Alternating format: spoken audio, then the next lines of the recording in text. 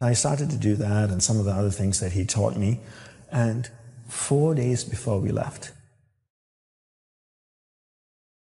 it taught me the power of my mind and how if I understood the mechanics of it and how it all worked, I could create what I wanted in my life. These amazing tools have been around for millenniums. Monks have been using it for thousands of years.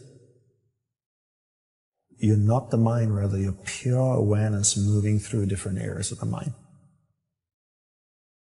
If you understand the mind, right, it works on pattern, right? Because right now my, man, my mind is shaped like this. And if I want to go to the next version of me, I need to break this, right, that mold, and then heat it up and then remold it again. And that process of breaking in order to reshape it is where I go, this is really difficult.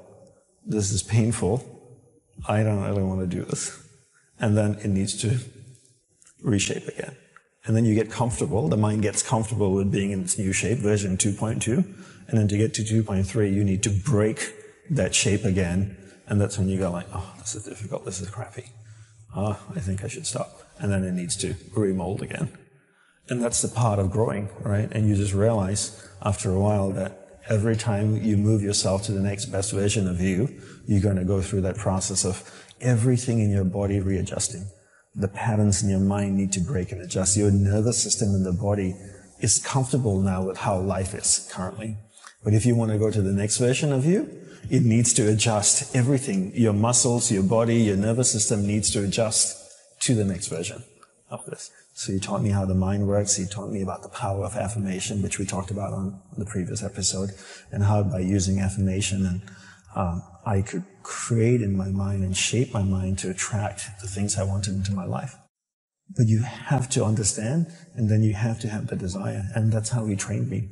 And now you have that affirmation practice that you can use yeah, to manifest yes, things. exactly. And you do affirmations a bit different. You kind of have three things that you do yeah. that makes them special concise choice of pros- uh, positive words, clear visualization, and feeling. And feeling being the most important component because feeling is emotion, and emotion is energy, and energy is magnetic. Tesla had the saying, um, if you want to find the secrets of the universe, think in terms of energy, frequency, and vibration. I think Tesla is an amazing human being, and I think he was more like a mystic scientist than anything else. And if I were to elaborate on that statement, I would say that everything is made up of energy, and that energy is vibrating at a certain frequency. And your job is to match the frequency of what you want. Because that's harmony, right? And the same way that if you want to attract something in your life, you need to understand what that frequency is that you want, and then change the energy in your body to match that frequency. And when you do, you attract that. It's like the old radios, right? You, you tune it. The station is 74.5 FM. And if you get to 74.4 FM, you get static and music. 74.6, static and music. 74.5, perfect music. 74.2, the static. And so your goal is to tune your energy to, to match the frequency of what you want. And then that's when that attraction comes. And a lot of people talk about this law of attraction and stuff, but I never really understand it or explain it properly. And I think sometimes the New Age world can just get away by saying all kinds of, oh, the law of attraction, you know, do this and do that, and it will attract it into your life. But there's no practical steps or actually understanding the science of how, how these things work. But once you really understand it and put the hard work into it, uh, these amazing tools have been around for millenniums. Monks have been using it for thousands of years. Concise positive words. Concise positive words. Clear visualization. Clear visualization. And uh, corresponding feeling. Right. right. The feeling is emotion. So when I say corresponding feeling, if you want something, you need to match the frequency if you want what you want. So remember what Tesla said. Think in terms of energy, frequency, and vibration. Right? Everything is made up of energy. That's vib- and that energy is vibrating at a certain frequency. So if I want to be in harmony with you, I need to feel how you feel and how does Brian sit and how does he talk and how does he stand? It's same like actors. That's what they do, right? Actors. They, somebody needs to play Cleopatra or King Richard or whatever it may be. They, they try and feel that person, right? Or even James Bond. James Bond has a certain way that he walks and talks. And there's so many people have played James Bond, right? What, six or seven people, however it is. But you never go, oh, that doesn't feel like James Bond. They all have that James Bond walk. Because what have they done? They've really moved their awareness into that area of the mind and they started to feel the character. How he sits, how he talks, you know, his, the little things that Bond does, you know, how he adjusts his coat. And, and then, then you forget that that person is playing James Bond. You look at that person and you go, that's Bond. And that's really what it is with affirmation, is you're trying to change your energy in your mind to match what it is you want. And when, when those two things are vibrating the same frequency, then you attract it. Think in terms of energy, frequency, and vibration. Pull all the energy in one place, you change the frequency of that energy to the frequency you want, and then you send it back out again. And, and that's something that's never taught. And I always say to people, life is a manifestation of where you invest your energy. Whatever you put energy into will start to manifest in your life. So energy, the best way to look at energy is to look at energy the same way you look at water. So if I took a watering can and I watered a garden bed, would the weeds grow or the flowers grow? Both, right? Yeah. Because water can't tell the difference between the weeds and flowers. Energy is the same way too. Whatever I put energy into will grow. If I put energy into something negative, it will grow. If I put energy into something positive, it will grow. Energy has no ability to discriminate between positive and negative. Whatever I put energy into will grow.